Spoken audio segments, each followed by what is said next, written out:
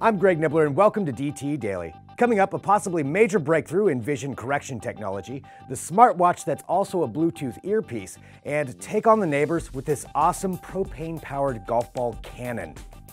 If you struggle with glasses, contacts, or bad vision in general, we have some seriously good news.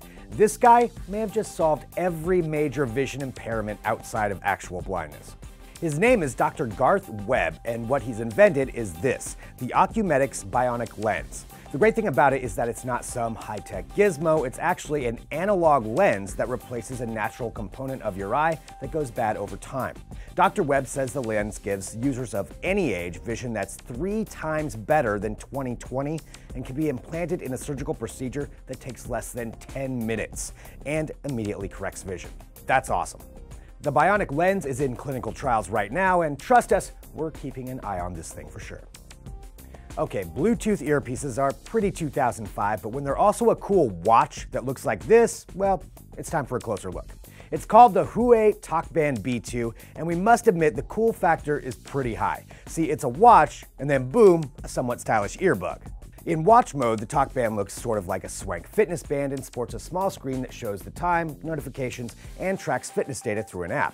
But the really neat trick is that you can pop the device out of the band and into your ear, which makes it slightly less geeky than talking into your smartwatch like Dick Tracy.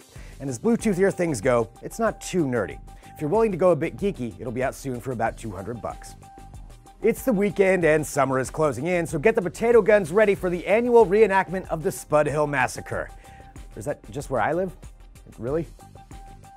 Well, anyway, if potato guns are too pedestrian for you, check this golf ball shooting propane cannon from the crew over at Backyard Scientist. It's simple to build and looks like something out of Ghostbusters or District 9 if you added some more tinfoil and LEDs. Suffice to say, it packs a kick when shooting golf balls.